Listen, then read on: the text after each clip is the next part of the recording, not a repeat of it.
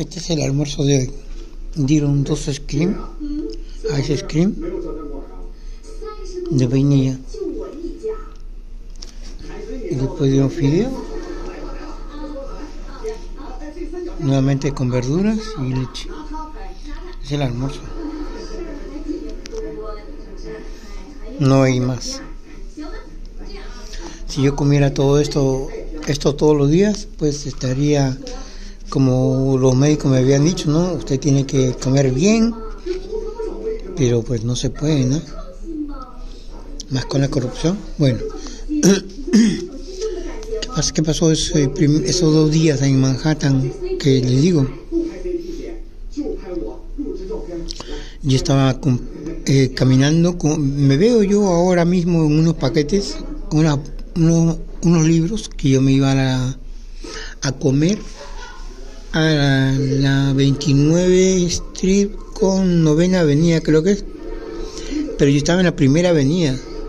Tenía que ir a la novena a una iglesia.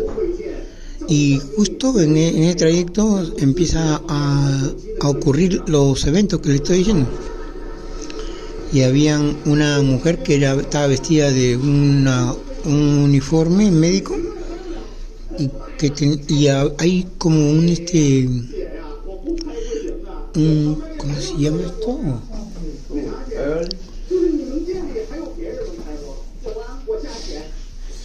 había como un este pero lo voy a decir. Igual no ah, no. Entonces qué pasa que había como la mujer estaba vestida de uniforme como pero era que tenía el nombre como un crematorio de Manhattan. Y estaba esperando ahí, pero estaba con el teléfono en la mano.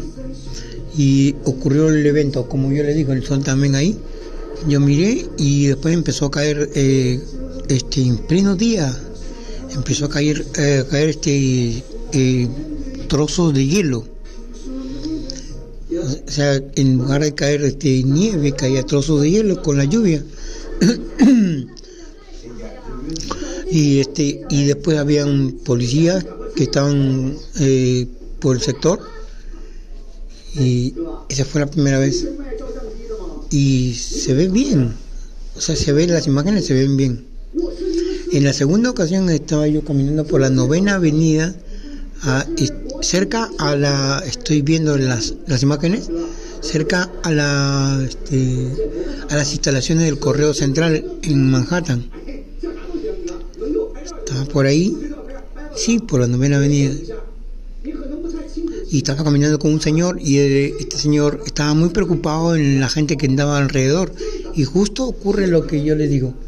Pero el sol se ve arriba no se ve como algo como un remolino. Arriba se formó y algo oscuro pero estaba de día y era este, el día soleado. Y se formó así algo oscuro y yo volteé a ver y cuando este señor se dio cuenta también se fue. Me dijo tengo que irme y se fue.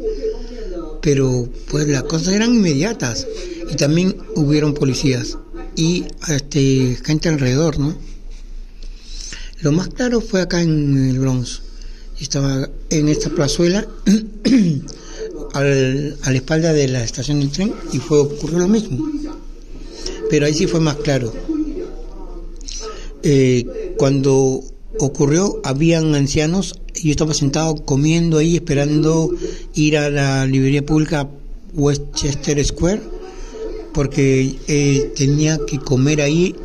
O sea, llevé mi comida y la comí ahí en el parque.